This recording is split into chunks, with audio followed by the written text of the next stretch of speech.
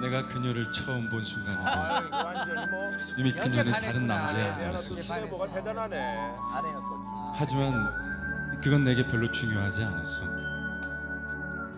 왜냐하면 진정한 사랑은 언제나 상상 속에서만 가능한 법이니까.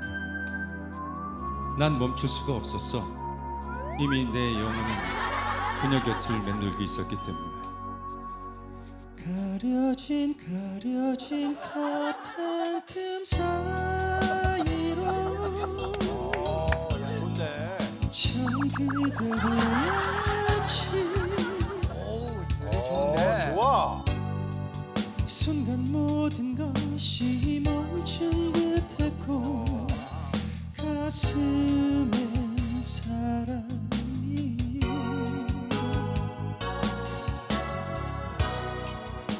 멈출 수가 없었어 그때 돌아서야 하는 것도 알아.